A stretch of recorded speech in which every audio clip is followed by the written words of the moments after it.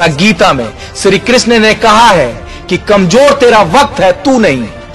जिस दिन आपको लगे कि सारी दुनिया आपके सामने, आपके विरोध में खड़ी है, उस वक्त दुनिया की तरफ़ पीट करो और एक सेल्फी लो।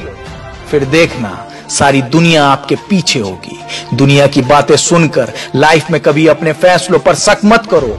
अगर आपको भरोसा है, आपका दिल कहता है कि आप कर सकते हो तो यकीन मानो आप कर सकते हो। यदि आप उड़ नहीं सकते तो दौड़ें। अगर आप दौड़ नहीं सकते तो चलो। यदि आप चल भी नहीं सकते तो रेंगो। लेकिन आप जो भी करो, आगे बढ़ते रहो।